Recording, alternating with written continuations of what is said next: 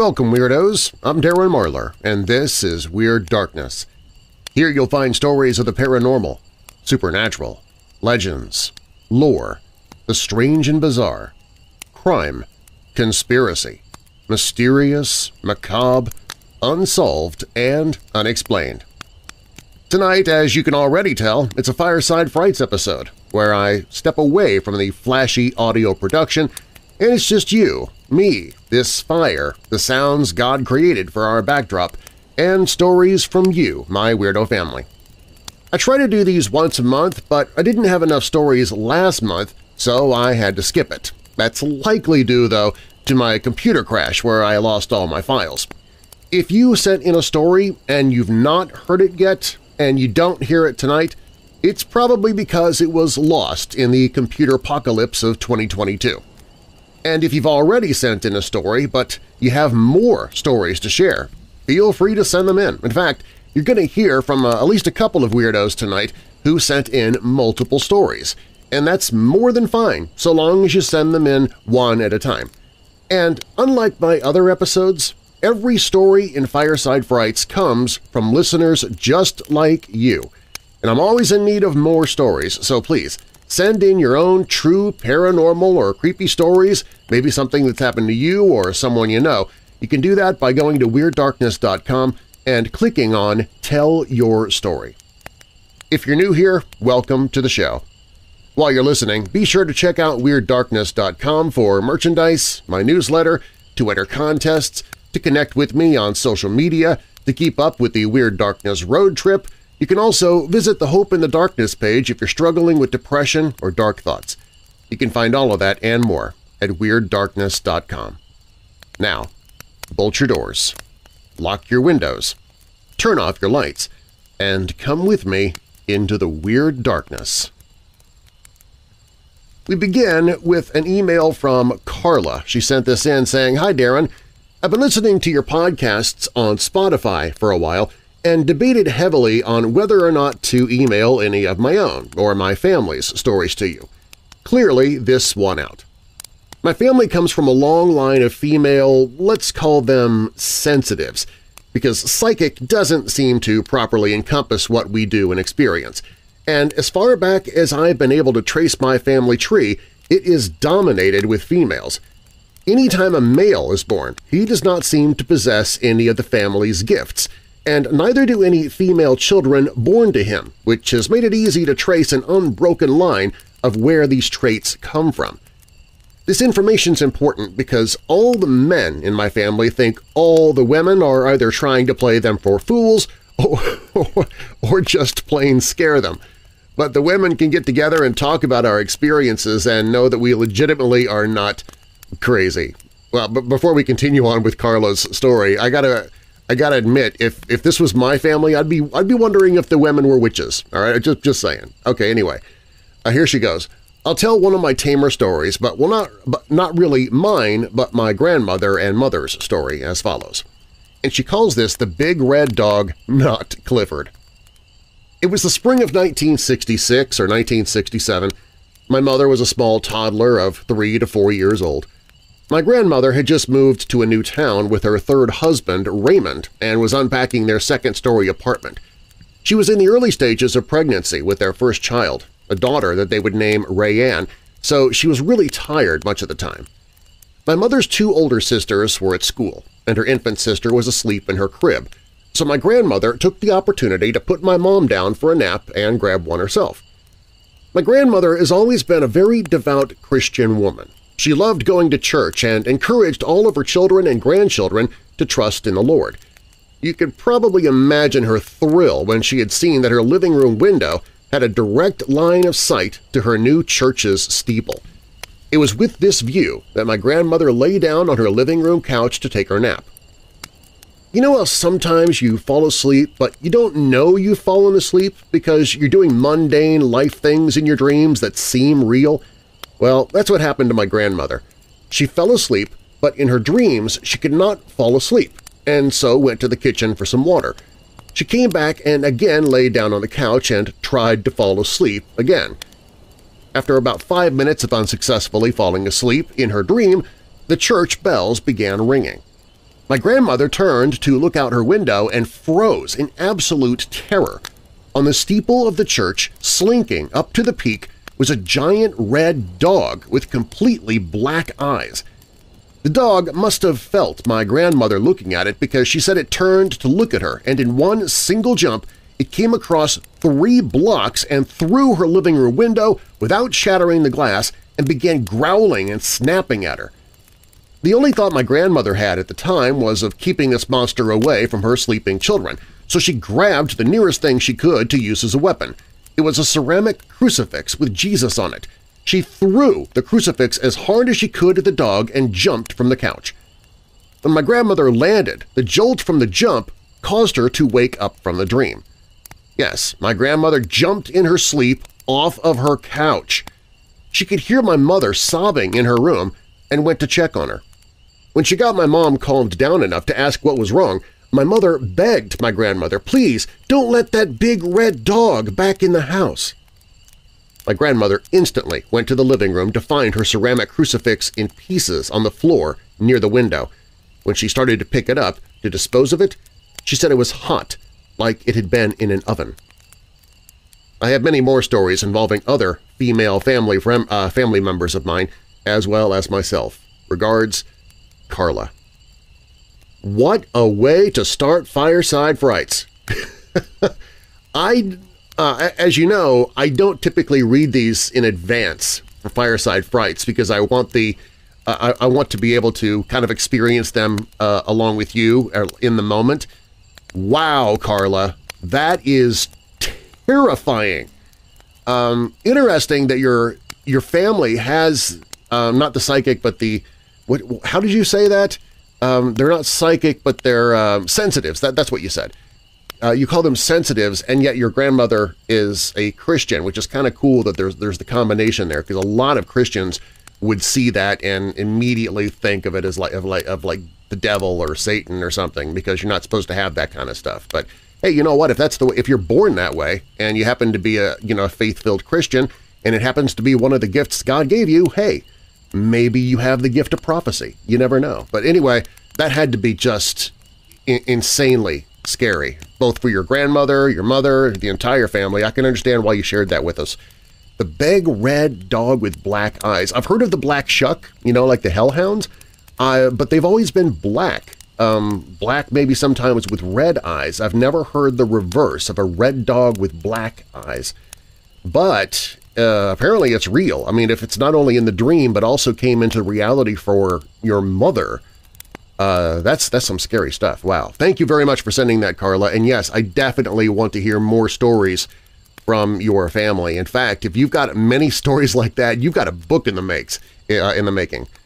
Okay, moving on. Um, this one comes from, uh, let's see here. Unfortunately, I did not get the name of this person. Oh yeah, Dave. Dave sent this one in. He said, Hi Darren, love your show, especially that you accept spiritual experiences. I've submitted several true stories that you've read in the past. I don't know why, but I seem to always become very skeptical when someone claims many experiences. Weird, because of my family having a lot of experiences as well. I know, it just makes no sense. My mother's a very special person who has had many incredible experiences. I'll share one with you here. I was a very young child when this happened. We recently moved to the Sacramento, California area from Bountiful, Utah. One day, we were driving on the freeway in our new green Plymouth Duster when my mom asked my dad to pull over. She said something was wrong. She asked my dad to check the car. He did, and said there was nothing wrong, and we started down the freeway again. After a little time, my mom insisted there was something wrong, and she had Dad pull over again, this time to check the wheels. Dad checked, and this time, obviously irritated, he got back in the car with the same and we started off again. Once again, after a few miles, Mom said there was something wrong. Dad was having none of it, so an argument started up. Mom finally told him to pull over, that she and her kids were getting out of the car. So Dad, angry, pulled over, once again, and started to inspect the car. While he was doing so, Mom rolled the window down and told him to check the side of a specific tire underneath the car. not happy that he would have to get down and stick his head under the car to see this location. Grumbling, he did it. And it got quiet. The trunk opened, the car was jacked up, and that wheel was replaced with the spare. Apparently Dad discovered a massive blister on the inside wall the size of a large fist, right where Mom asked him to look. The mechanic was uneasy working on replacing the tire because of the danger that it posed. He said it was a good thing it didn't burst while on the freeway because it could have led to the loss of control of our car. So listen to those promptings, especially when they persist.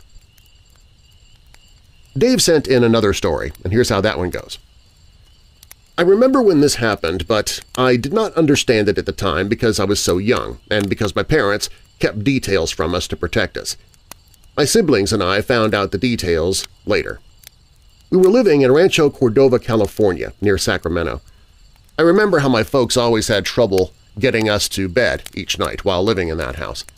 Once forced to go, us kids ran down the hallway to our rooms. We were all afraid while in the hallway, so we ran. What we did not know then was that Mom and Dad's clock radio would go off at odd times of the day and night. My mom was poked in the back while praying, and other strange poltergeist-type nonsense was happening. For context, my mom had a very spiritual experience at around 17 or 18 years of age. Afterwards, the veil was very, very thin, and she could see the spirits that exist around us. Mom said that once the evil ones realized she could see them, they started to cause her problems, trying to drive her crazy. So one night, because of the juvenile poltergeist stuff that she was enduring, she made a really, really big mistake. She commented out loud how stupid they were, and if they thought they were going to cause her to do something wrong, they were fooling themselves, or something along those lines. Well, they were listening, because everything changed as soon as she said it, the less capable juvenile-acting ones were gone, and the replacements were scary. A very evil presence began to stand in the doorway of her bedroom, and he just stared at her. I guess this lasted for several days. She tried to ignore it, but she said that it was unnerving. One evening she looked up while sitting in bed waiting for my dad, who was in the bathroom, and this demon suddenly rushed her without any warning. She threw the blanket over her head and cried out for my dad. She was terrified. She then felt the mattress depress next to her, all while hearing my dad in the bathroom asking what was going on. She had the impression that if she did not resist this thing's advances, she would die. She was frantic, crying for my dad to help. This has been a sore spot for Mom ever since because, the way she puts it, I could have been murdered and he was acting like, oh, my neurotic wife, and taking his own sweet time. When Dad finally came into the room, she was angry with him and demanded that he call one of the local officials in our church immediately. This official met with them that night and listened to her experiences and her description of the evil beings. He then chewed out my dad, telling him that what my mom was saying was true. He told my dad that he was not meeting his responsibilities in the home. He told my folks that the saying, we are in a war between good and evil, is not just a euphemism that it was reality, an actual war. He also included that in his experience counseling others, that when somebody has had something special happen or about to happen, that evil tries to counter it. He taught my dad how to force them from the home. Later that day, as my dad was in our home doing as he was instructed, my mom sat with us kids in the car. Due to our age, we had no clue what was going on. I just remember feeling tension in the car. When Dad came out the house, he was as white as a sheet. Mom asked, you saw them, didn't you? Dad said no, but they made their presence known as they left, and he felt them go. She then asked, you did not believe me, did you? To his chagrin, he admitted that he had not. Us kids were clueless, asking, what are you talking about? What's going on? Who left? Mom's response was, never mind, you don't need to know. Of course, we found out the entire story once we were old enough. Mom also found out from our neighbors that there was a lot of speculation about the woman that lived there before us. Apparently there was a lot of gossip due to so many men constantly in and out of the house all day and night. They inferred that she was possibly a prostitute or something. We wonder if that may have been what invited them in. Later, Mom also told us why we were so afraid of going down the hall at night going to bed. She said the hallway was like a type of conduit, that it was just filled with entities appearing at one end and fading away at the other end. She said they were miserable and so self-absorbed that they did not seem to know anyone else was around them.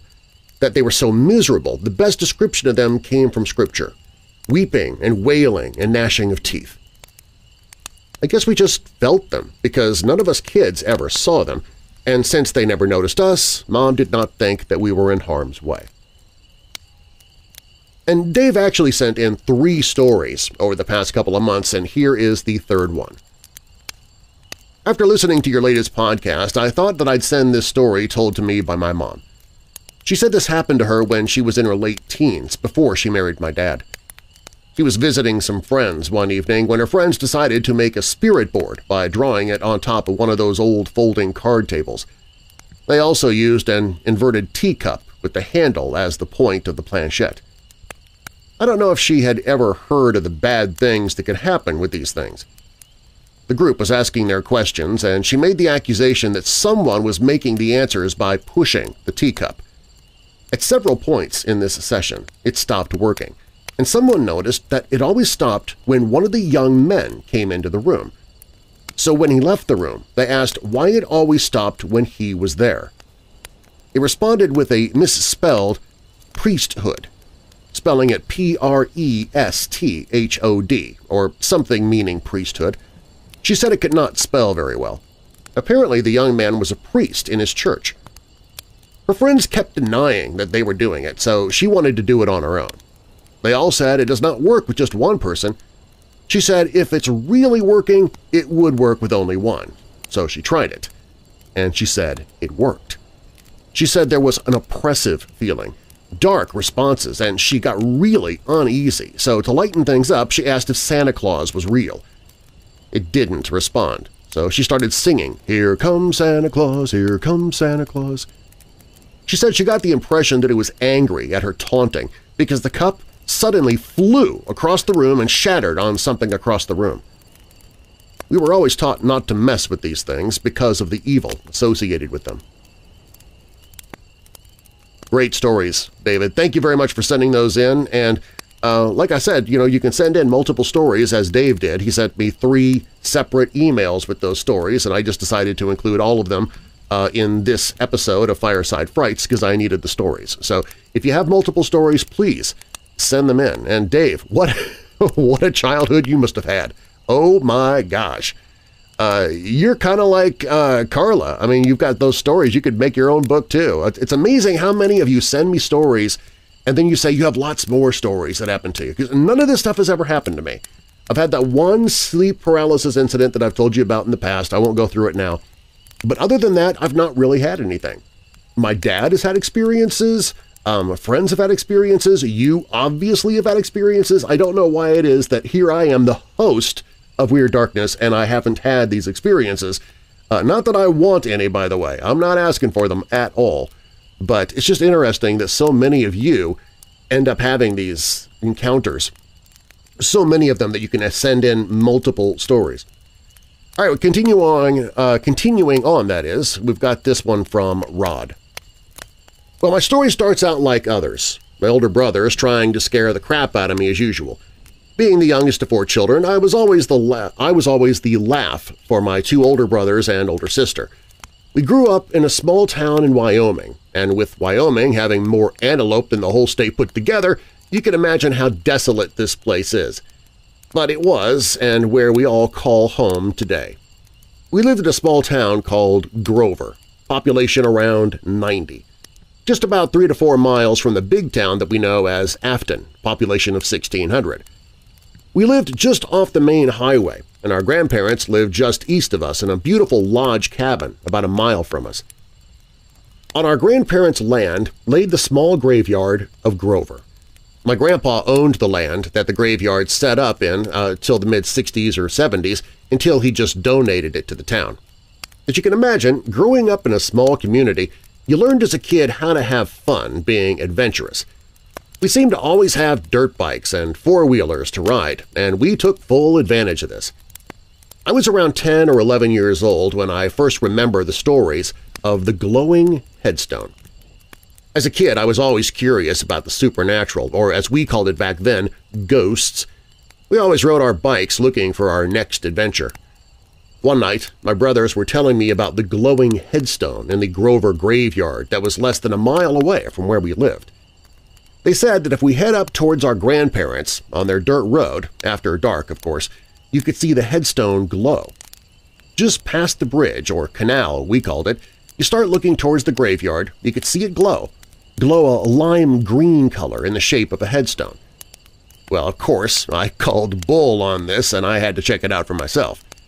I started to head up our grandparents' road. Once I got past the first bridge, I started staring up towards the graveyard that was only about a quarter mile away. I went slow, trying to see it. Heck, I wanted to see it. After going back and forth on that road for a few minutes, there it was, a bright light green light, or excuse me, a bright lime green light, just like the shape of a tall, round-off top headstone. I was intrigued. If you went four or five feet up or down the road, it would just disappear. You had to be in the exact spot. I was excited and scared at the same time. Later on in my life, as I hit my teenage years and driving was the only thing on my mind, this spot became a place where you could take your date, or girlfriend if you had one, and show her this remarkable mystery. Most of the people who had seen this could not believe it was real, by this time, me and my brothers and next-door neighbor who hung around with us had investigated why this headstone glowed at night. We went to the graveyard during the day and tried to guess what headstone it was. We had a pretty good guess of which one it was, but when night came and we went back to the spot where it would glow, the direction or where the glowing was coming from was off. Just didn't match up to where we thought it would be. We even tried to follow it from the spot on the road right to where it was in the graveyard, so we jumped the fence and headed toward it, but about 200 yards away it would stop glowing. This made no sense to us. As soon as we walked back toward the road, it would start lighting up again and glowing again. What the heck, we thought. It didn't matter if it was a full moon or cloudy, if you found the spot on the road, it was glowing. After a time, people forgot about this mysterious sight. I'm in my mid-40s now and I can't seem to find that spot again, nor has anyone else. It just disappeared. Maybe it was a headstone and its natural glow just gave out? Did the headstone, if it was one, get removed? During the time of its peak glow in the mid-80s and 90s, we noticed and seen for ourselves strange people around the area of the graveyard. I myself saw a line of people, about five or six of them dressed in black with masks on, front and back, two-sided masks, never seen anything like it, holding candles and walking to the graveyard at dusk. I did not stop to say hello, but I got off of that road that led to the main entrance to the graveyard and went back home. It makes you wonder, what were those people doing? Devil worshippers? Witchers? Witches? But what I know is that once the weird visitors stopped coming to the graveyard, the glowing headstone stopped appearing as well. Coincidence? I think that might be so. Hard to believe something like this anyway. But I've seen it all, and it still gives me chills when I think about what was happening up there and why that headstone glowed the way it did for so many years. Thanks, Darren, for letting me submit my story. I work on the road a lot from state to state and enjoy listening to your podcast for the past few years. Thanks for getting me through the long drives to and from work, weeks at a time. Every time I hear Welcome Weirdos, it makes me smile knowing that I belong to this weirdo family. Well, thank you very much, uh, Rod. And yes, you're definitely a part of this weirdo family, and with stories like that, you're more than welcome to send your stories in, too. Um, glad to glad to have you uh, on the roads doing what it is that you do. I don't know if you're a if a, if you're a trucker that you know moves things from one place to another just so the rest of us can live our lives the way we do. If if that's the case, thank you for what you do. This next one comes from Nina. Dear Darren, I love your podcast and listen to it almost every night. I truly hope that you'll consider including my story of my experience with a shadow person on your show. It doesn't matter if you'd like to include my name. I've never told anyone besides my immediate family about this occurrence. Please forgive my nervous feelings. Here goes. Blessing or curse? I do not truly know. Both my four-year-old daughter and I together witnessed a shadow being. Everyone I've told thinks that I'm crazy. My husband even says that he believes I'm lying. I didn't want to see this being. My daughter, afraid of disappointing her father, told him that she doesn't remember what happened very clearly. The clenched white knuckles of my daughter's tiny hands gripping around my knees. She was paper white and shaking. I understood her almost unbearable fear. That fear is so large and strong that its grip is like concrete, poured and dried. It makes moving completely unthinkable. The shadow being was tall. It was at least six feet and male. He stood, facing the both of us, defiantly. A small, quiet voice told me that the light switch was directly behind my head. I realized that I didn't need to avert my eyes to reach behind me to flip the switch. It was a powerful feeling that if I looked away, this being like a rabid dog would attack us. As I slowly bent my arm behind me, the shadow dropped suddenly to the ground. Before I could flick the light switch, it crawled inhumanly fast. It went to the end of the bed, around the corner, and behind the long curtain in front of the windows. In less than a split second, it had completed all of those moves. Of course, once the light was on, the being was gone. To show my daughter that he was not anywhere, I showed her every part of the room. I knew for certain then she'd seen the same as I had. She said, Mom, he's not any of those places. He went behind the curtain. I pray that I never see one of these ever again. If I do, I'm better equipped now. I only hope that my daughter doesn't forget what I have tried to teach her. I don't want her to see it again either. If she or anyone else does, there's a name that terrifies them, the biggest difference between us and them? We don't have to live in fear. Ever again. Thank you for considering this. Thank you again for everything. Sincerely, Nina. Nina, thank you very much. I'm guessing that that name that terrifies them is the name of Jesus, but uh, you don't say that specifically in your story, but I, I'm guessing that's what it is. Interesting, again, you and your daughter, but not your husband. Kind of makes you kind of makes me wonder if maybe you're related to Kara's family or Carla's family, Kara's family the ones with the, the sensitives. um, but I'm not giving last names, so you can't look it up. Um, but in, interesting that it would, it's the females in your family that it happened to. This next one comes from Carol. This one actually, a Carol is a guy. He says, Dear Darren, thank you for your podcast. It helps me stay awake on my hour drive home from work at 2 a.m. My name is Carol, and I grew up on a ranch south of Amarillo in the Texas Panhandle.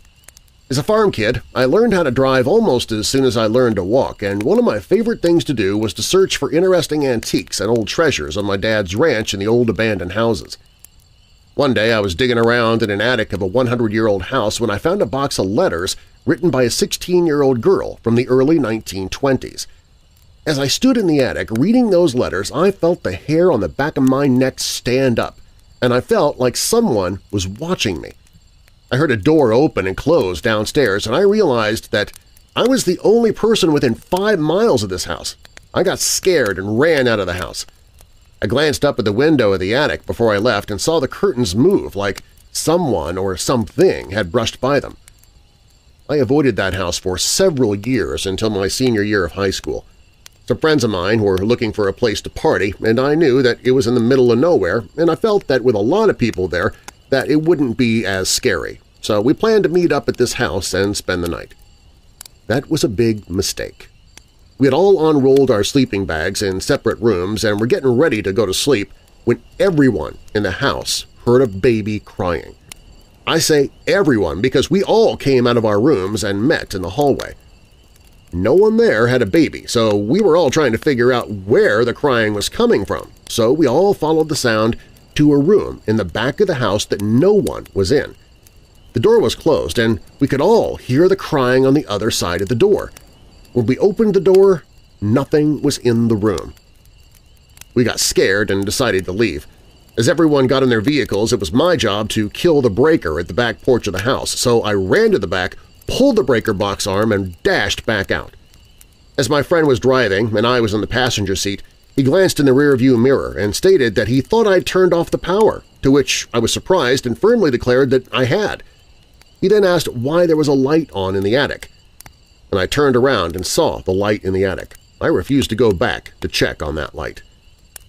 Twenty years later, I was driving by that house with my wife, whom I had never shared that story with, and she said that house gave her the creeps, like someone was watching us. Just writing about this scares me to this day, and I'm a 51-year-old man. Well, Carol, it doesn't really matter what age you are. You get scared no matter what. Um, I'm actually surprised that you were able to go back twice, with once with your friends and then again you pass by with your with your with your bride. That's that's a bravery right there. I don't know if I could go that far. This next story comes from Moira. Hello, Darren. This is my first time writing into Weird Darkness or any radio show slash podcast for that matter. Like many of your loyal listeners, I found your show Weird Darkness during the 2020 pandemic lockdown as a way to fill the silence while working from home. Your theme caught my attention, and your voice drew me in, but it was the way you presented the stories that got me to stay. I started at uh, episode 1 and I'm now finally up to current. I admit I was disappointed and annoyed when, by the end of 2021 and early 2022, you were just reposting your old shows more often than not as I had come to rely on and look forward to new and interesting tales. I understand now that you'd hit a particularly rough low in your life and had let your show falter due to this. It's good to hear you're doing better and that you're bringing new life back to the show that so many of us have grown to love and depend on to get us through the week. So, now that I'm caught up, I thought I'd offer a little bit of my own weirdness to you and your show. Though you can see my given name and my email address, I tend to write and post under the name Moira and would prefer that you keep my given name quiet. I have a small presence online at moirasmusings.wordpress.com where you'll most likely find my poetic endeavors which may also appeal to you. By the way, before I continue on here, she spells Moira M-O-I-R-E, so moirasmusings.wordpress.com if you're interested in that. Okay, so she continues on. What I'm sharing with you in this email below is a true and very real bit of my own oddness. I hope you, and should you choose to share it, the rest of your weirdos, find it interesting. We dream. Everyone dreams. Some remember them. Some don't. I've always dreamed bright, technicolor, vivid dreams. Dreams so real that upon waking I must determine where I am and the shape of my reality. Then, several years ago, I was provided a medication for my asthma that made my dreams even more vivid, more sharp, bright, and real, and the shape of my dreams changed. More often now, as I teeter over the edge of wakefulness into sleep, my mind splits between waking and dream. I can feel the weight of my sleeping body, see the darkness behind my closed eyelids, hear the sounds of the household as it settles in for the night, However, at the same time, I'm watching my dream unfold while also living within the dream. It is rare that the dreams in this state are pleasant. More often than not, horror comes for me here. In this strange, split realm, I am the terrified victim trying to escape my Night Stalker and the observer trying desperately to change the scene, to wake up. I try to open my eyes, move my hands, goad my leaden body to wake, while simultaneously I'm battling the horror in my subconscious. It isn't so much lucid dreaming. I cannot change or direct the outcome as double-minded dreaming, and it is terribly uncomfortable. However, the double-minded dreaming is a fairly rare occurrence. It's the second type of disturbing dreaming that unsettled me the most. You ever had someone else's dream? You ever dreamed a dream that wasn't yours? Have you ever screamed within a nightmare that didn't come from your own subconscious? I have. Vividly. I have been a little boy, terrified, hiding under a table as a large man cursing in Spanish raged in the other room. The man, drunk and angry, wearing a sweat-stained T-shirt, smelling of hard work and liquor, hair shaggy and a long beard looming large in the little boy's my mind. A terrifying tyrant Beyond the little dream boy, hiding from his, my, abusive father, I can dimly see the sleeping mind of the man the little boy's become, his nightmare brought on by his impending fatherhood. I've been a woman, dressed in long black robes, walking out of trees onto a gravel road, seeing before her me a line of protesters with signs, and behind her, me in the distance, men marching towards them with guns. I hear French and other languages being spoken. Some she I recognize, some she I do not.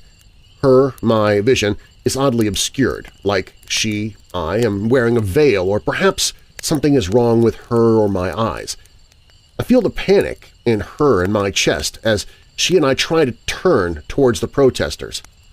Our legs tangle in the folds of the long robes as we slip on the gravel, falling at the feet of the other robed women and being helped up by them, turning to face the oncoming men with guns.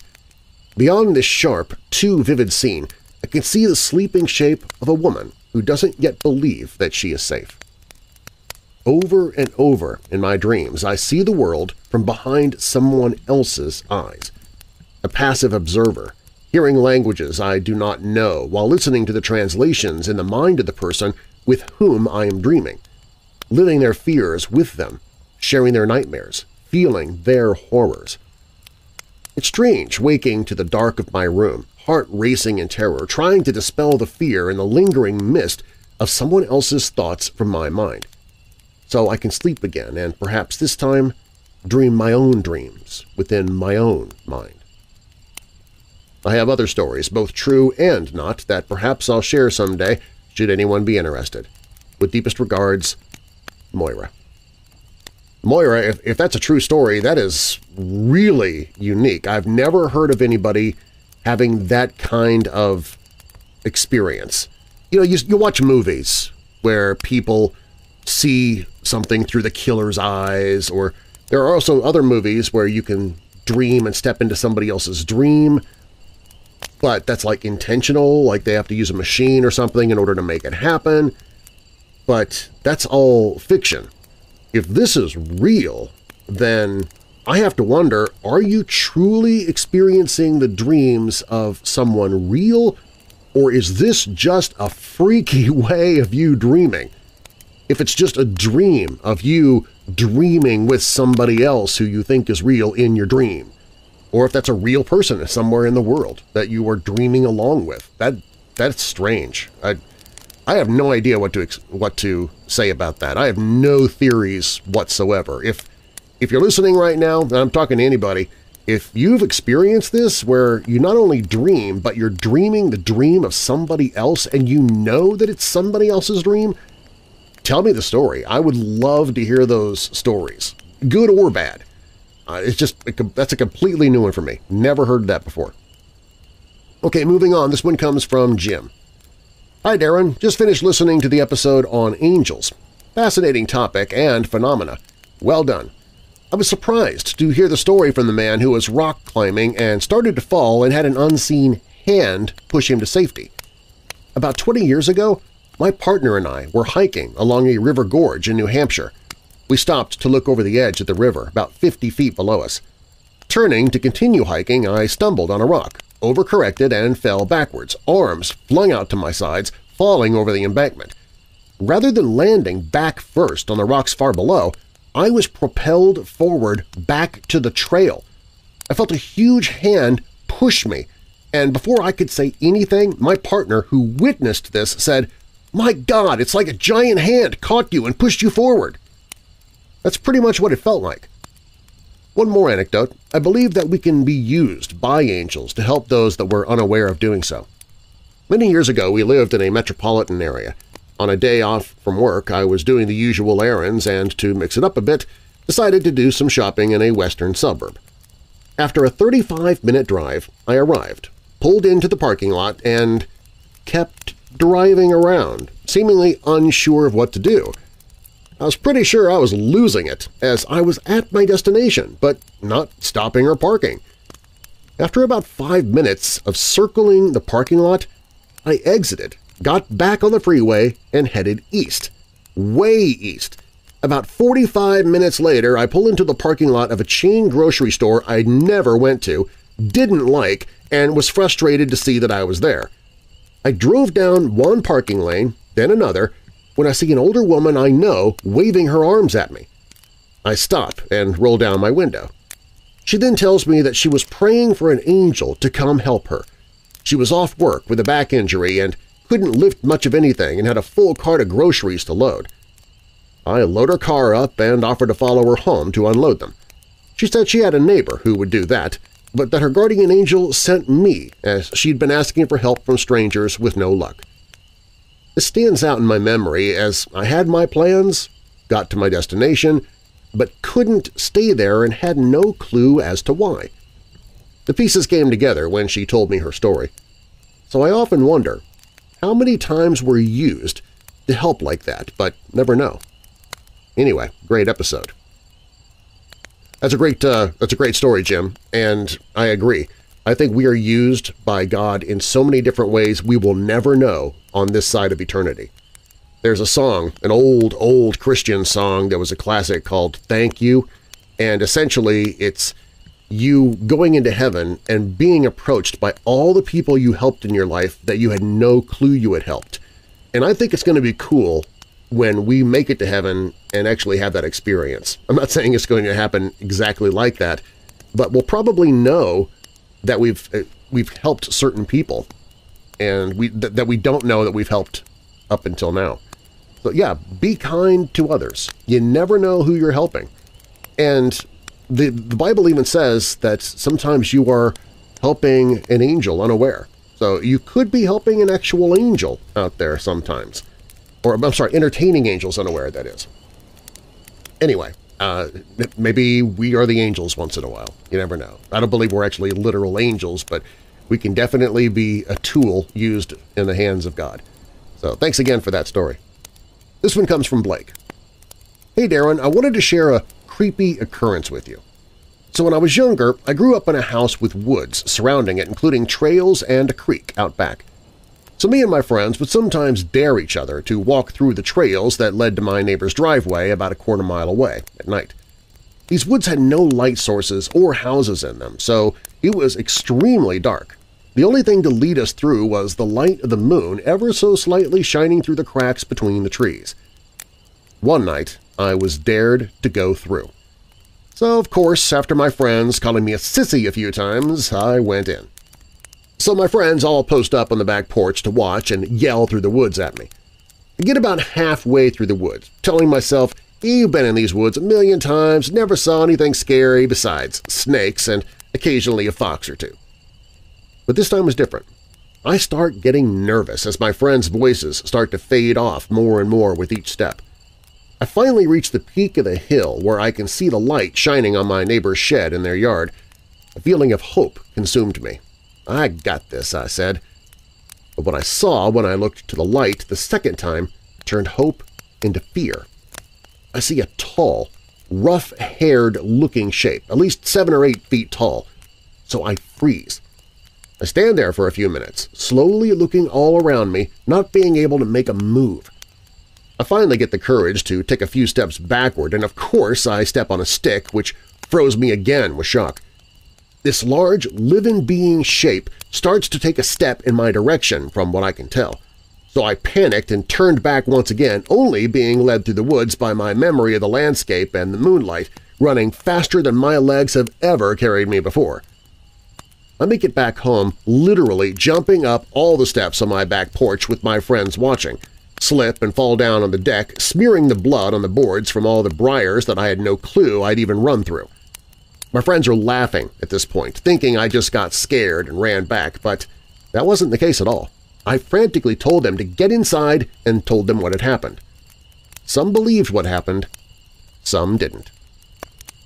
From that day on, I never went in those woods within an hour of nightfall. And another occurrence, so this isn't much, but it's true. So there's been multiple times now that I've come home to see my wife and son, and I walk in the house put all my belongings on the landing table, and start to creep up the stairs to sneak up on my son who's usually hiding to try and scare me. As I get halfway up the stairs, I hear a woman speaking, sounding like she's in mid-conversation, so I instantly think it's my wife talking with my boy. I sneak through the house, and as I get about halfway to our bedroom, the voice stops. So at this point, I imagine they realize I'm home, so I think they're finding a good hiding spot so I jump in the room, growling like a wild animal to scare them. Nothing. No one's there. so I look in every corner, behind every door, every room. No one is in the entire house. What really hit me at this point is that not one of our three dogs has started to bark or run up to me, letting me know somebody is, is, is in fact in the house. I'm a little weirded out at this point. So I proceed next door to my mother-in-law's house, which we go to regularly. There they are, sitting in the kitchen. I spoke to my wife. They had not been at our house for over two hours. This has happened a few times now, and it's the same sound, a woman's voice in mid-conversation, then when I get closer, it stops, no one is there. Just wanted to share and would like any input you have on this occurrence. I don't have any input, Blake. Nothing useful, at least. Sounds like you have a ghost. Typical ghost. If it bothers you, then you could always have somebody come and cleanse your house like a, priest or something. But if it doesn't bother you and it's just kind of a unique phenomenon, hey, keep it around. Show it off at parties, who knows? Uh, okay, this next one comes from, I have no idea if it would actually happen with multiple people in the house. I don't know. So that, that'd, be, that'd be the weird thing, though. See, if it doesn't happen with other people in the house and it only happens to you, then there's got to be an intelligence behind that because it knows it's you and nobody else. See, so that's, I don't know. I don't know. Yeah, all right, you know what, talk, talk to a priest. I, I, that'd be, that would be my way to go. This next one comes from Amy. Hello, Darren. I have a near-death experience I'd love to tell you about. When I was in Girl Scouts, we used to go on an end-of-the-year camping trip to the nearest amusement park. We have several amusement parks here in the New England states. Meanwhile, my Grammy was dying at the house and we were living with her. She was in hospice at the home, and any day our Grammy would pass away to go see God. My Grammy was my hero. She taught me to believe in God and helped all of us become Catholic. I was not doing very well. I had severely been dieting to lose my baby weight. My Mimi told me that I was fat and that my teeth were not white. Back then my teeth were stained with soda and candy and pizza. I learned to be alone while the divorce was happening with my parents. My papo was a menace, too, and did not believe in medicating his children, and since we lived under his roof, we could not get treated with medication, and I was struggling with anorexia and undiagnosed bipolar.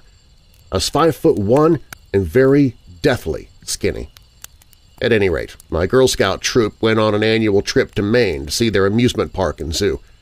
I told my mom I did not want to go on the trip because I was so tight with my sickly grandma. I pleaded with her to let me stay with her and my family. She told me in the exact words, Go have a good time, everything will be all right, there is no need to fret. When we got to the campsite, I was crying my eyes out. I missed Grammy once we got to the campsite. We decided to pile back in the van to go swimming. I fainted going into the van, so I decided that I should stay on the kiddie side of the pool and just splash around. This got me good and tired. When we got back to the campsite, I went straight into the tent and dozed off to the sound of music through my Walkman. The next day was sunny and bright. We went to the amusement park and zoo. I got to pet a few animals, see white tigers. We all had a grand old time. We all got to go swimming and ride on the fun rides. We bought trinkets at the souvenir shop. It was a great time. Later that night, we were at the campsite and chit-chatted for a while. Then we were tired, and we all crawled into our tents. Well, I could not sleep. I was properly too hyper with sugar and the excitement of the day. Well, I decided to put my Walkman on my ears, and back then we had headphones with a cord. I also should mention I sometimes toss and turn in my sleep. Well, I fell asleep and the cord got tangled around my neck and almost suffocated me to death. During my sleep, I saw a tunnel, and a dark, long tunnel at the end. Then way in the back of the tunnel was a bright white light. I tried running to the light, but it was hard to get to, but there was a man with long, flowing golden hair in an ivory-white flowing robe with his hands outstretched. He opened his mouth to speak, and at that moment the voice of my Grammy came blaring out from within the darkness, and I hear her say, "'It's not time for her to go yet.' With a wisp of the man's hand, I was sent hurtling back to the land of the living, and I awoke. The minute I awoke was the moment I started to uncontrollably cry tears of sadness because I knew in my soul that my Grammy, who was down in Massachusetts, had saved my life and went to heaven in my place. I cried myself to sleep that night, and in the morning it was miserable outside and miserable inside of me. I was asked why I was so sad, and I told them I knew Grammy had passed on and that I almost died and they thought that I was making things up. All that morning and day it was dark, luminous, cloudy around us. When we arrived for lunch at Friendly's, I tried to call home, but with no luck. What good would it do me if I made that call? I knew what the outcome was, and all I wanted to do was get home. When we arrived in our city, my mom was late, coming to get me, another ominous sign that I knew what the outcome was. When I finally got into the car, I looked at my mom and she had dried tears on her face. I told my mom how I knew, and she just needed to come out and say what was going on. And sure enough, my suspicious, ominous truth was told, and I let out a big cry of anguish. And thus that low-lying cloud of forbidding doom was lifted, and a heavy, darker, denser cloud of depression came about, and thus started my grieving process of the loss of my Grammy. I'll always miss my dear Grammy, and will always think of her fondly, for she not only rescued me from our dad horribly controlling our lives to come and live with them, she also saved my life. This account is the actual truth of what happened to me. My grandma did save me and my family. Grammy is my hero forever. As she should be, Amy. As she should be. Sometimes we take, it, we, uh, take for granted those who came before us, those who are older, whether or not they're still in our world or not. But we need to look back on them with respect. And you can see there's so much love there that your Grammy had for you, Amy. I, I'm really, really happy to know that she stuck around long enough that she could step in and save your life when she did. Great story. This next one comes from Michael. Greetings, Mr. Marlar, or to whom it may concern. My name is Michael Todd. I'm the founder and lead investigator of Spook Earth Paranormal, based in Fort Smith, Arkansas. I've been researching and investigating the paranormal for over 14 years. I wanted to reach out today to share a story concerning an incident in 1981 which started my interest in the paranormal. I'll do my best to keep the story brief. During my years recording, taking hundreds of photos and literally hours of video, I have managed to acquire a fairly impressive array of evidence. From apparitions to disturbing demonic voices, having my hair pulled, being scratched, bruised, nearly losing a toe to being shoved through a doorway by something unseen, I have run the entire gamut. But the incident which started it all began on a very cold night in January of 1981. In a nutshell, I worked as a security guard at a defunct factory called DeSoto Furniture. I was a young man barely 23 years of age. I was teased because of my age by the older guards, and I was fed tales of phantoms, ghostly voices, and even the chance of running into a demon said to haunt the upper office area.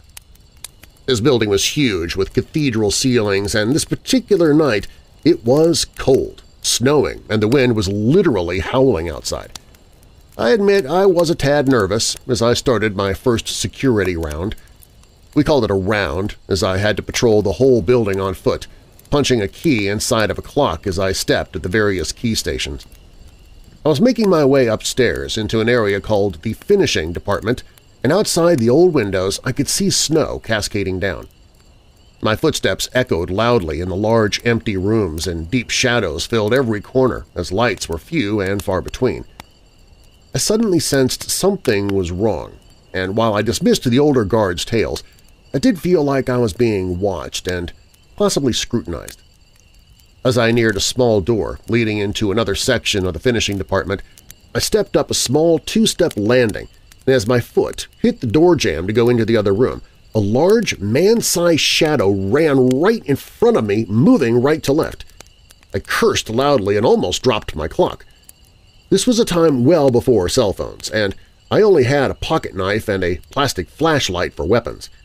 I challenged the shadowy being and shined my light in the direction the shadow had went. I expected a transient or a would-be burglar, but to my surprise there was nothing. The direction the intruder ran was straight to a wall with the only exit chained and locked from the inside. I was scared. I will admit I almost urinated myself, but I had to make a choice.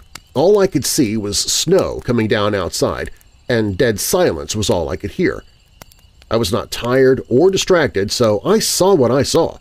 It was tall, dark, and wearing dark clothing with a large overcoat of some type. I found nothing after a search of the room where I checked the windows and doors. All locked. I went back to the guard shack to decide what to do. I didn't call the police nor my boss. I became watchful after that, and yes, I occasionally heard odd sounds but never saw the figure again.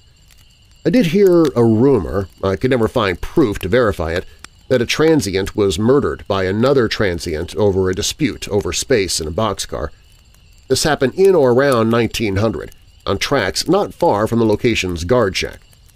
This building's gone now, having burned down in the fall of 1982. The incident I encountered led me to now, and I'm still on the hunt for the unseen. I hope you find this story of interest. Perhaps your listeners will enjoy this recollection of a frightening moment I lived through. I appreciate your time. Sincerely, Michael Todd, founder and lead investigator of Spook Earth Paranormal. Thank you, Michael. Great story. I, I almost pictured that as the Hat Man, but you didn't mention any hat, but the, the dark figure, the shadowy figure, even wearing the trench coat, it just sounds so much like a Hat Man incident. But shadow people come in all shapes and sizes. Or it could have been the ghost of that transient. You'd never know. By the way, I'm including the information here with Michael's last name and that he's the lead investigator of Spook Earth Paranormal because I would like to open it up for other paranormal investigators.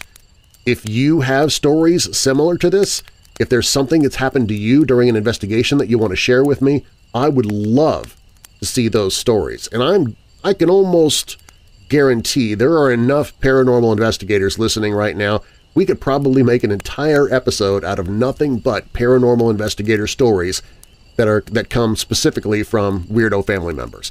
So if that's you, go to WeirdDarkness.com, click on Tell Your Story, and tell me somewhere towards the top of the story that you are a paranormal investigator, and that way I can set it off to the side and use it for a special episode in the future.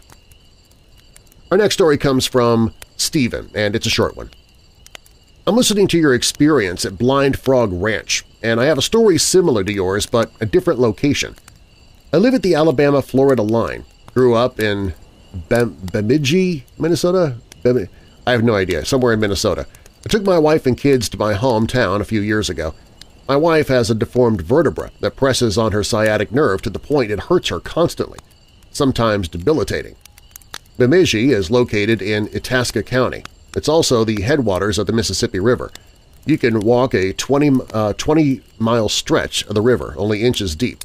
While there, my wife walked almost a mile and a half, pain-free. That's really nice, Stephen. So it's not the Blind Frog Ranch, but there's another portion, I guess, somewhere in that area. Are, the, are those considered healing waters? you don't mention that. Yes, it's such a short paragraph you sent to me. I'm interested to know if that area has that type of legend attached to it. Let me know. For those of you who are wondering what my experience was at Blind Frog Ranch, I, I won't go through it here. It would take too long. But if you go to WeirdDarkness.com, just use the search function and type in Blind Frog Ranch and you'll be able to find it there. It's about a 10-minute story, so I won't take the time to tell it here. Our next story comes from Xena. I want to start off by telling you I've always believed in the veil between a spiritual world and what we call reality. I say this to say, what if it's the other way around? We read in the Bible that we're here for a short time, and if we follow God's law, we have eternal life free from this terrible world. Anyway, I have another true story for you. I'm not crazy, nor looking for attention, I just have had some crazy experiences. Here's another one. I, in 2007, went on a four-day trip to New Orleans. My mother had passed away in March that year, and I had divorced officially in November of 2007. My favorite uncle was in the hospital, and his prognosis was not good. I felt the need to get away, so I did. Summer, August to be exact, I went. By myself, Let me say I love New Orleans. I took tours so I would not be alone and vulnerable. I took a Katrina tour, devastating. I was shocked at what they expected to hold off the water, the levees. They're just two-sided hills around the canal. Then the ghost tour, cemetery tour, seeing Marie Laveau's grave, not touching it, keeping my comfortable distance. I went out to the swamps and saw gators. After all that, I went out to the quarters, had a drink, took in the music, hung with the bouncers, again trying to be safe while alone. Before the night ended, I sat down with a fortune-teller. I don't remember what he told me, but when I got back to my hotel room and got comfortable watching TV and falling asleep, I felt something get in the bed. I thought, eh, I'm tired. It's whatever. Then I felt something moved next to my back and was turned away. I was laying on my side. Uh, I had an incredible feeling of being watched, so much so I jumped out of bed, turned on the light. Nothing was there. The room was small. Nothing. But I grabbed my hotel key, fled the room in my pajamas, went down to the lobby, and asked to be moved. I was not going back into that room. The staff did not seem surprised. They didn't seem startled. Not a crazy look from any of them. They just gave me another room, escorted me to get my things, I would not go back in there alone, and in the new room I was safe. I don't know if on my tours or seeing the fortune teller if something came back with me or if something was already there. I believe something came back with me because I spent two nights in that room and nothing. Did I forget to mention it was my last night there? It was. I was so scared. Called my dad. So the next day in the airport, while waiting for my flight back to New York, I received a phone call that my uncle had passed away. I was so far away. So sad I'd lost two important people within five months, and a husband. Was it my uncle that came to say goodbye, or something that came back from my exploring the quarters? There were a lot of deaths due to Katrina when I went there. Some were still displaced. A lot of flooded-out homes and a glimpse of hope because, as promised, Brad Pitt and a company he worked with were building houses that would float if and when a flood would come. I saw a couple of them. I don't know what was in my room that night, but there was something there. I'd put it away in the cobwebs of my mind due to the funerals and my grieving, but I wanted to know as I'm writing you now. I guess I'll never know, but whatever it was in the dark, late at night in a hotel room, I was scared. I can understand why you would be scared, Xena. And I know a lot of people would be mad at me for saying this, and I'm not going to say that you shouldn't because it's a personal decision, but biblically you shouldn't be going to fortune tellers because supposedly that opens you up to invitations, which could very well have been the case here for you, Xena. I'm not saying that is what happened, I'm just saying that it is a possibility. Or maybe it was your uncle coming to see you. I, I really don't know. But if it was your uncle, he was doing a horrible job in saying goodbye because he scared the crap out of you. Unless, of course, your uncle had that kind of sense of humor. I really don't know. All right, moving on. Uh, this next one comes from Susie. Hi, Darren. This is Susie from rural Ohio. I love all aspects of Weird Darkness and especially Fireside Frights. Even though my tale is short and not very frightening, I'd hate for you to run out of stories for the campfire, so here's my small submission. The first story belonged to my mother, a sweet little old church lady who never talked about the paranormal but once claimed she saw a UFO. Two years after my father passed away, she sold the old farmhouse they lived in for 40 years and moved into a small, newly built ranch-style home in our small town. Shortly after settling in, she claimed she started hearing movement in the attic space that would sometimes follow her to different rooms. She didn't scare easily, but it did unnerve her a bit. I don't know what made her think it was my father checking in on her, but one night she announced to the noise, "'Honey, if that's you, you're scaring me. I'm fine.' She said she never heard anything in the attic again. Did he follow her to town just to make sure she was doing okay? We'll never know. The next story is my own experience. One winter night I had gone to bed much earlier than my husband. Knowing he'd be watching a movie, I closed the bedroom door, something I don't normally do but thought the TV would keep me awake. I was drifting in and out of sleep anyway, so after a while I got up to ask if he would turn the sound down.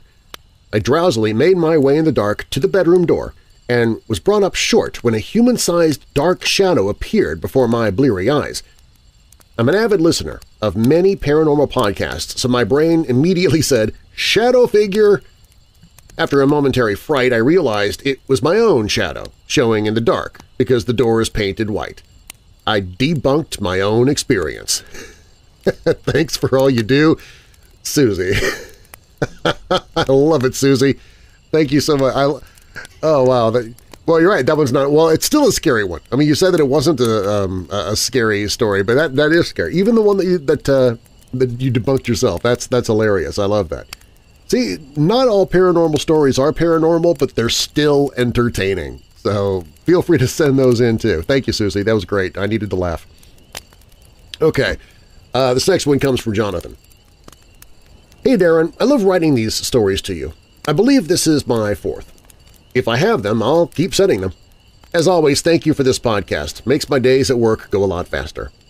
I have a story for you. Is it true? I'll get back to you on that. When I was a teenager, I was incredibly involved in Boy Scouts. I spent every summer either going to summer camp or working there. The camp was isolated in North Carolina. Closest large town was an hour away, so it was very quiet when the lights went out. If you walk this camp long enough, you'll notice some large trees are shattered from the top and working their, their, their way down. Every year, more of these trees start to show up. What causes that, you might ask? Simple. It's the tree devils. The tree devils would find a home within a tree, usually long pine. Once it would wake up and want to cause havoc, it would burst through the treetop, shattering every branch and knocking the bark right off. This would usually happen during a bad thunderstorm. You could easily find evidence of a tree devil being out when you'd find its glowing yellow pee laying on the ground. The smell was so strong you'd think a skunk had just sprayed. While the tree devil was out, it would knock down canoes on the waterfront, eat all the bacon before breakfast, and worst of all, it would break the slushy dog machine. Acts like this would go on until the tree devils would get tired and find themselves another tree to snuggle into. There was one tree that was so old and large that one tree devil tried to escape from it and failed.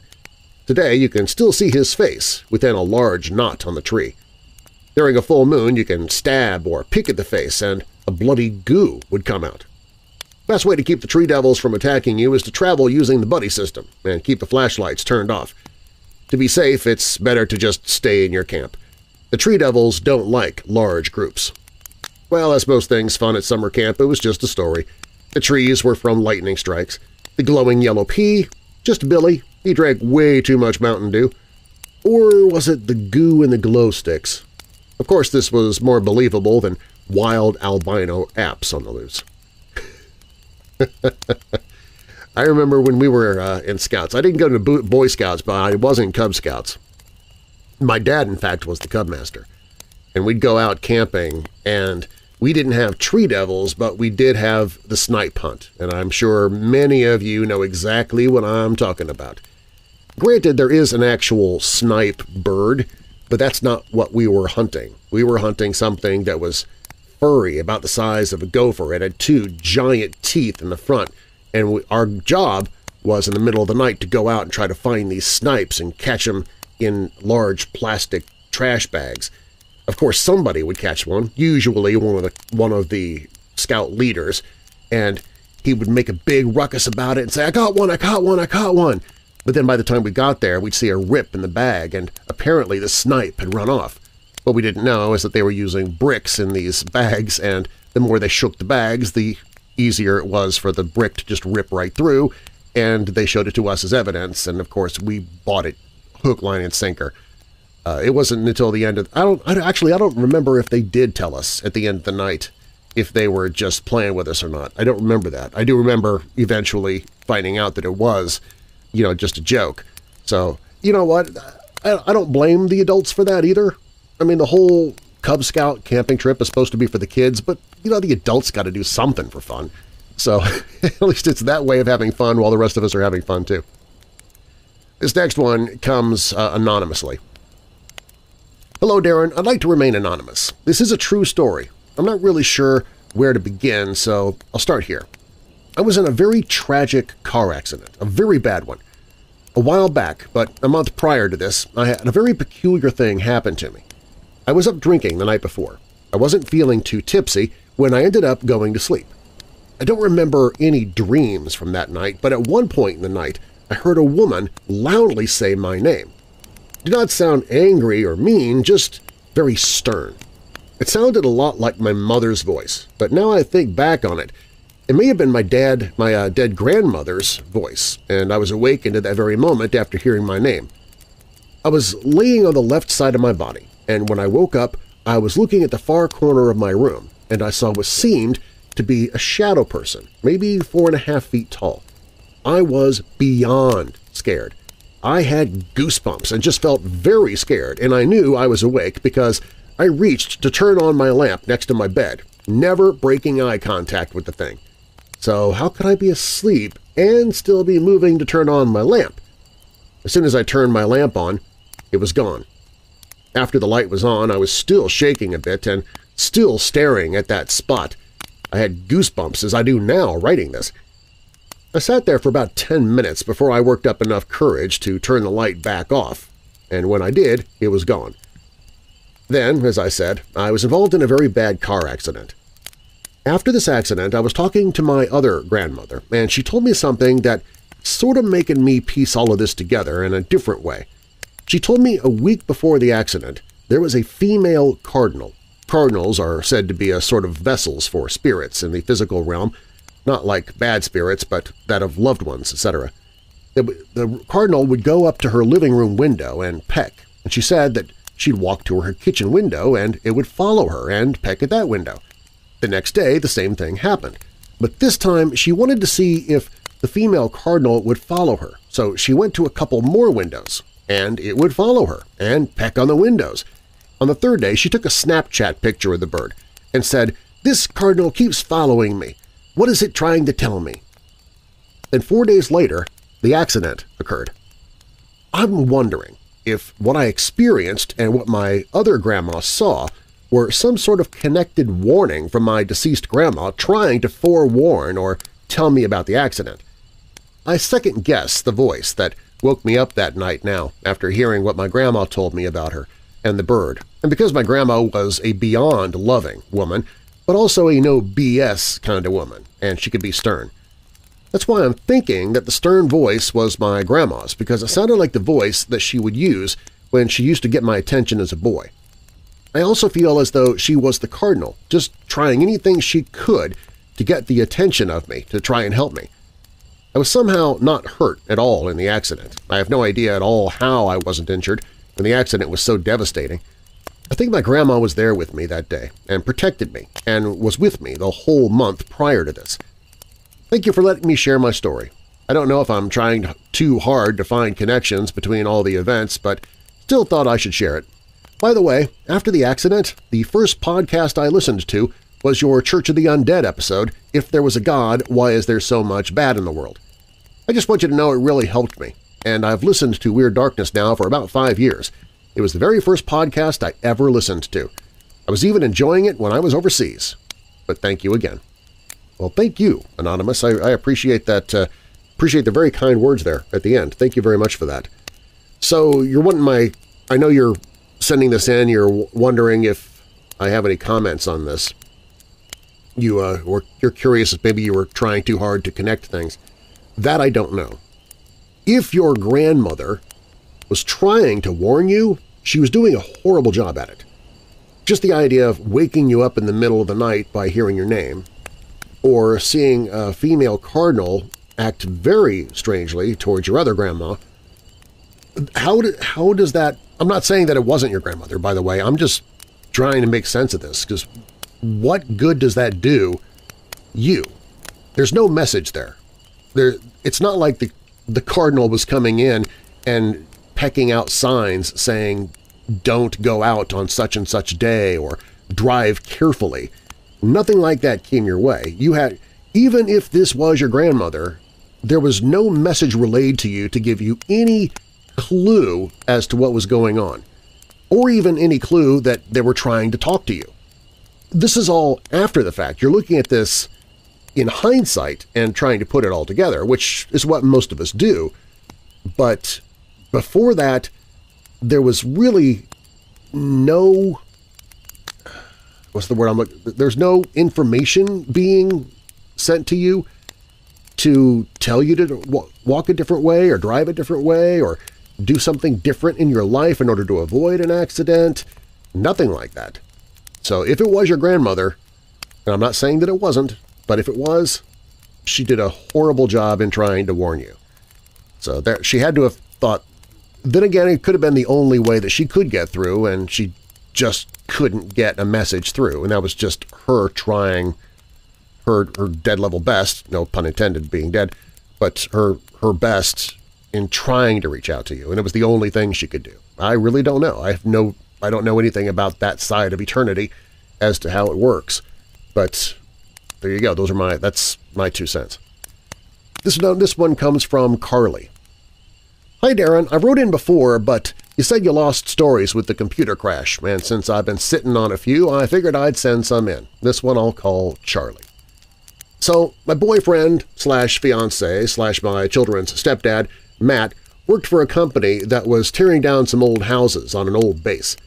Some of them had mold, but not all of them, and since he was in charge of which house was which, he knew which ones he could bring stuff home from.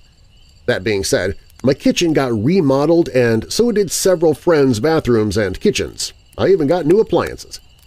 Well, he also found this nice, solid bed frame we really did not need. So I hopped on Facebook Marketplace to sell it, and along, along with this dresser with a round mirror. He found them left in a basement of one of the houses. Nobody would buy it. I had two people who were going to take it, but then saw the model number on the back and refused. The number, model number 666, product number 99666. Maybe we should have gotten rid of it another way, but instead we kept it and gave it to my four- or five-year-old. Things were fine for a while. But then one day my stepson was talking to my daughter about who she was ta talking to earlier. Not missing a beat, she said, Charlie. He asked, is, is Charlie your imaginary friend? She said, no, I was sad. Nobody would play with me and I had no friends, and she said from the mirror that she would play with me. I said, okay, and she crawled out of my mirror and she's my best friend now. My stepson and I stared at each other. He said, you're lying. She shook her head and said, no, she's real. You heard us talking. I look at him like, oh, yeah, did you, did you say you heard her? He said, yeah, but you were just talking in funny voices, right? She shook her head, insistent she was real.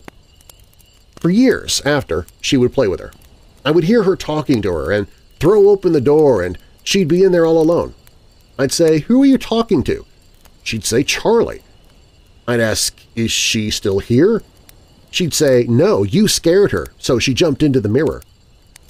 Well, finally one day she said she doesn't want to play with Charlie anymore. I asked why. She said, we don't get along anymore. She's mad I'm too old. Okay, storage, but whatever.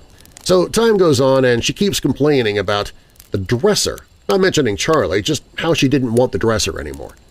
Finally, I'd had enough of her complaints and moved the dresser outside where another friend comes over and looks at it and was going to take it, but then here comes my daughter telling her Charlie story. At this point she's 9 or 10, so my friend says, yeah, no thank you. That night my partner and I take the dresser apart and burn all the wood.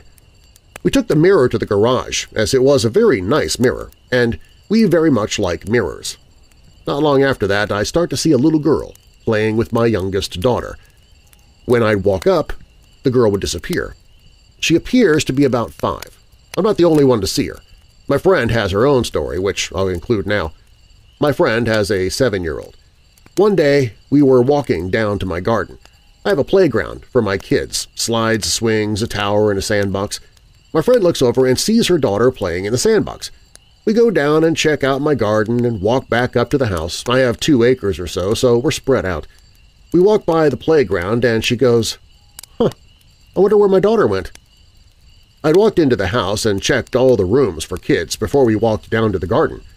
Her daughter was in my youngest room playing Barbies before we walked down there. So I look at her and say, she's been inside playing Barbies this whole time. She got pale and wide-eyed and asked, so who was in the sandbox when we came down? I swear I saw her. Both girls around that age were inside. It was Charlie. I told you about the boy buried in my yard in a previous episode, so she has a friend to play with sometimes. I just worry about hearing about evil spirits living in mirrors. I should get rid of the mirror and maybe get rid of Charlie too. Thank you for all you do. I absolutely love your podcast. So many blessings to you and your bride. And this being Mental Health Awareness Month, thank you for being so invested in helping others out of the darkness.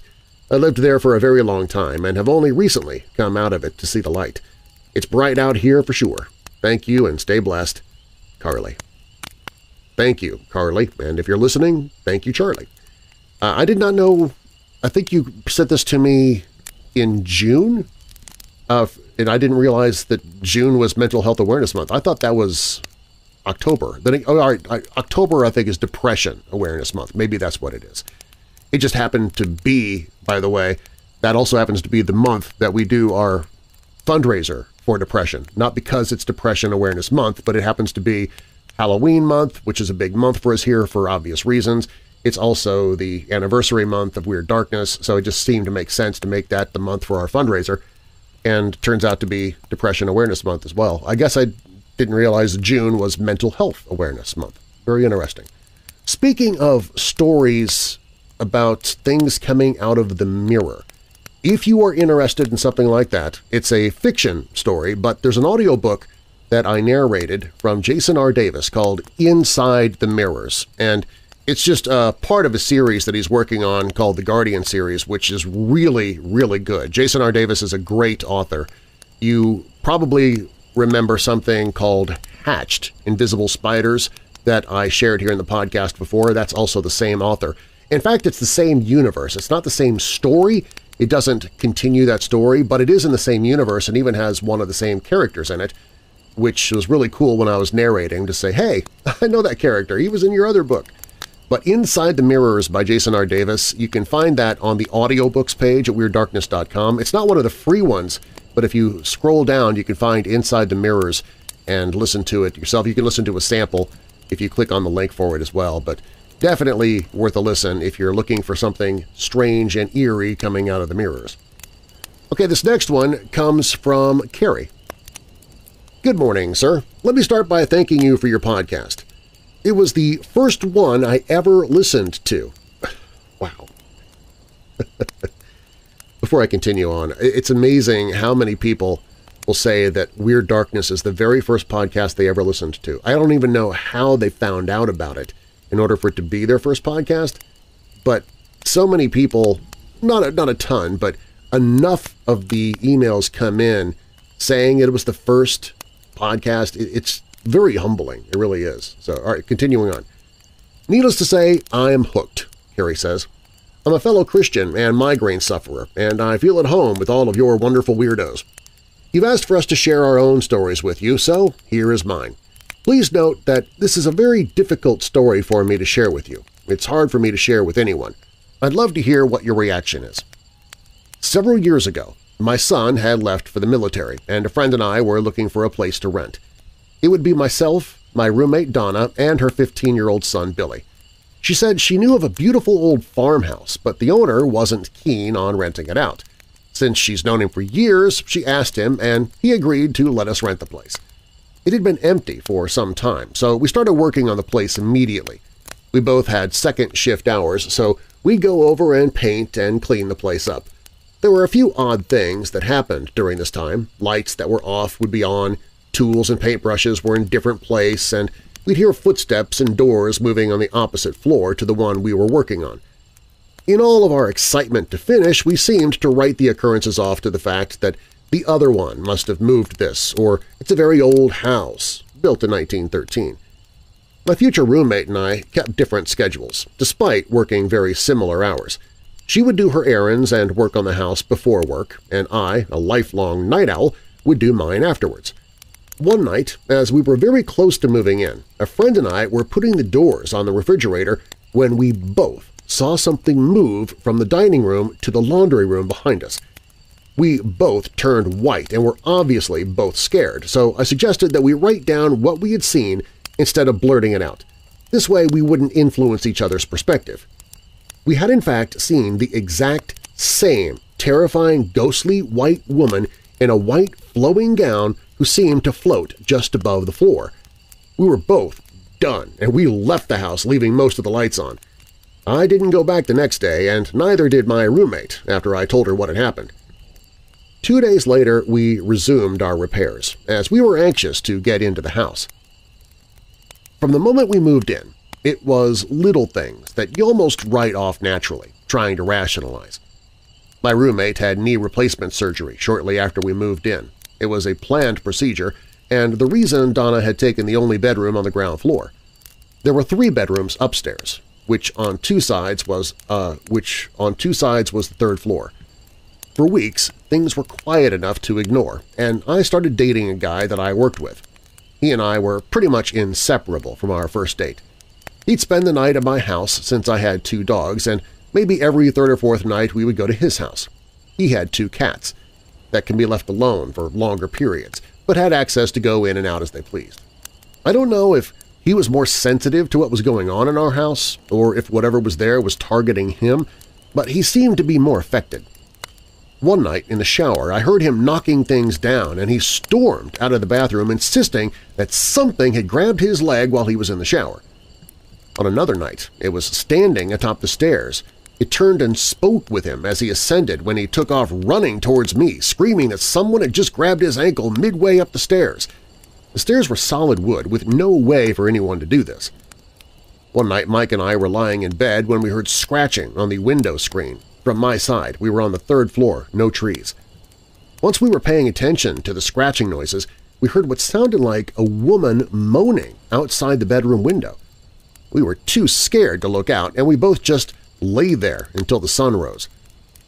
On another night, Mike and I were working and my roommate heard my rescue husky playing upstairs in my room, directly above her room. My husky, Merlin, didn't interact at all with anyone other than me. She figured we'd had a maintenance issue and had been sent home early from work. She began calling my name, Carrie! Carrie! Nothing. She got up and, using her walker, she made it to her doorway at the bottom of the stairs. She continued to call my name and then saw a figure that looked like me come out of my bedroom door and disappear across the hall. Upstairs, my room was at the top of the stairs to the right. Directly across from me was a spare room that we were going to fix into a guest room. Currently, it just had our extra belongings inside. Opposite the wall between those two bedroom doors was the entrance to Billy's room. The layout is important here in a moment. The house's fixtures were very old, with doorknobs, etc. being original to the house. The lights were on pole chains at the light fixtures themselves. You had to go into the center of the room to turn the light on. When a light was on, you could see light on all four sides of a door, and the stairs and floors were really noisy. As things would happen, Mike and I started to want to stay at his place more often. But I couldn't be away from my two dogs. They were my babies. We spent Thursday night at Mike's and knew that Friday night Donna and her son Billy would be staying in a larger city an hour away with her boyfriend. He was a truck driver and was rarely home, so they seemed to be jumping at the opportunity to spend some time together. Mike and I were initially excited that we would have the house to ourselves, even though we'd only been together a few months now. We were looking forward to the day that it was just us. After work, we came home, made supper, showered, and watched a movie. It was around 3 a.m., and we're lying in bed with my two dogs between us. One final noteworthy feature of this old house was that the chimney ran through my bedroom, not in the wall itself, but about two feet away from the wall. I used a tension rod and hung a curtain up and tucked my bed on the other side. As we were laying in bed, we clearly heard what sounded like footsteps on the bottom floor, and then those same footsteps coming up the stairs. Mike and I were looking at one another confused, so I began to yell out to Billy as we knew Donna was not well enough along in her recovery to climb stairs. No one answered, and the footsteps continued. Agitated, I yelled threateningly at Billy to answer me, stating with all that's gone on in this house this was not an appropriate joke. No answer. As the footsteps reached the top of the stairs and stopped just outside my door, both of my dogs began growling and staring at the door. Neither were moving off of that bed. still insisting that Billy stop and answer me. I'm so frightened I could barely think. The sound of the pull chain on the hall light startled me as the hall light turned on and the light was visible, all the way around the door. Then the old metal doorknob starts rattling as if somebody is shaking it or attempting to turn the knob. Suddenly the door swings open into my room and Mike and I just sit up in bed and look around the chimney to see who has just opened the door.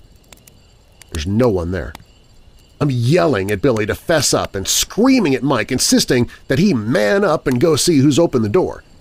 Mike refuses to budge. There's no answer from anyone outside of my room, so as my fear turns to anger, I hop out of my bed and slip into the closet to get a bat. My dogs are both still visibly shaken and refusing to get off the bed. They've now backed up against Mike's legs. I very sheepishly proceed to stick my head out into the hallway, asking, "'Who's there?' and, and other dumb questions. I don't see anyone upstairs, or as I look down and can see the backside of the living room. The lights are off downstairs except for a nightlight. There are no noises, and I don't see anything strange until I notice that the guest room across from my room's door is slightly ajar. Very bravely and foolishly, I push the door open with the end of my bat and muster up the courage to go to the center of the room and pull the light on. There's no one there. Nothing is out of place. For some unknown reason, I let my guard down at this point. I'm talking to Mike, who is still on my bed with my dogs, and explaining to him that there's no one here. I rest the bat on my shoulder and proceed to walk back to my room. As I'm crossing the landing, I glance up and over to Billy's room, and there, in front of his double window, is a large, darker-than-dark shadow figure standing in the most unnatural stance I have ever seen. I could feel the evil radiating off of this thing as I started running and screaming across into my room and slammed the door shut behind me. Mike and I got up and dressed, and we took everything we could load into our two vehicles and drove to Mike's house a full county away. I proceeded to pay rent at that house for the remaining six months on our lease, but I never went back. I left things of monetary and sentimental value, but I refused to go get them. Even though I paid the bills, I lost a friend. Donna and I do not speak anymore. Four years later, I got the nerve to drive by the house, but it had been demolished. That surprises me because it was beautiful and it had great bones. I've accepted the fact that I may never understand what happened in that house or why, but I have never regretted my decision to leave. Not for one second. Whew. That Um, I forgot to say that's our final story, and what a way to end our Fireside Frights. Goodness gracious. Carrie, what a story. Um, you wanted me to give you my reaction. I, I would want to know why the house owner was so hesitant in renting it out. Is there a reason that, that uh, he didn't want people living there? You said that it had stayed that it had sat abandoned for years, or at least a couple of years before you and your friend moved in to start cleaning things up to make it livable. So what happened two, three years or however long earlier that made it an empty house? That's what I would want to know. Because not only does this man have an empty house, he's refusing to rent it out. There's got to be a reason for that. Maybe he just likes his privacy. I don't know but he obviously was willing to let a friend go in there, but not but he didn't want to rent it out to somebody he didn't know. I don't know. There's that just seems strange to me. It was it almost feels like he was afraid of something in that house or what might happen to someone being in that house. That's that's the only thing I can uh, come up with to begin with. Mike, by the way, I don't know if you're still with Mike or not, but dang, he does need a man up. I would never live that down. If somebody, if I, we thought somebody was in the house and I was too scared to get out of bed and go check and my wife got up to do it, oh my God, I would hear about that for the, for the rest of our days. We we did commit till death do us part. I would hear that story till death do us part. There was there's no way that I would never hear that story again. She would be telling that story to friends and family saying such, what such a coward I was. She would think it's funny. I would be embarrassed. And rightfully so. So, Mike, if you're listening, I hope you've since changed your ways. And those dogs, wow, for a dog not, not to jump to your rescue, something definitely was, was there, something really strong, to the point it's going to scare your dogs from protecting you, which is what a dog typically wants to do to its owner, because it believes it's part of the family. It loves you like you love it. It wants to step up and be that protector. And for the dogs not to do that, they're so scared they're staying in the bed with Mike.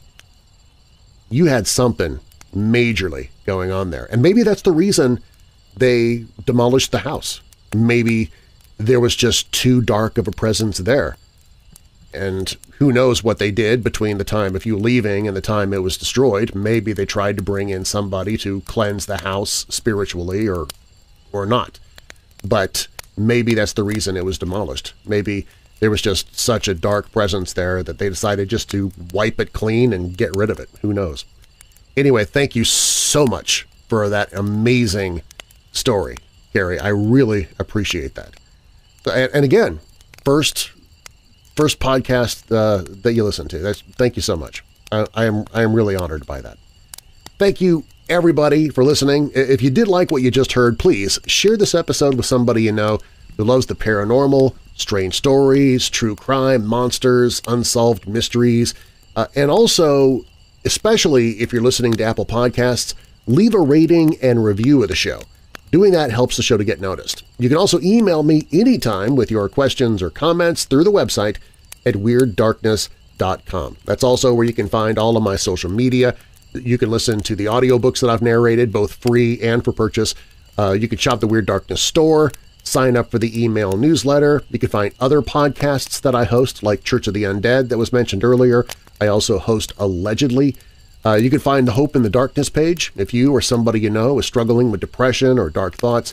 And of course, I need more stories for Fireside Frights. I used every single one of them that I had in my folders. So, if you want to hear a Fireside Frights next month, you'd better send in those stories. You can do that by visiting WeirdDarkness.com and then click on Tell Your Story. All stories in Weird Darkness are purported to be true unless stated otherwise, and Stories in Fireside Frights episodes are 100% submitted by Weird Darkness listeners like you. Weird Darkness is a production and trademark of Marlar House Productions. Copyright Weird Darkness 2022. And now that we're coming out of the dark, I'll leave you with a little light. Hebrews 11 verse 1 Now faith is confidence in what we hope for and assurance about what we do not see. And a final thought from J. Hudson Taylor. Satan the hinderer, may build a barrier about us, but he can never roof us in so that we cannot look up. I'm Darren Marlar. Thanks for joining me in the Weird Darkness.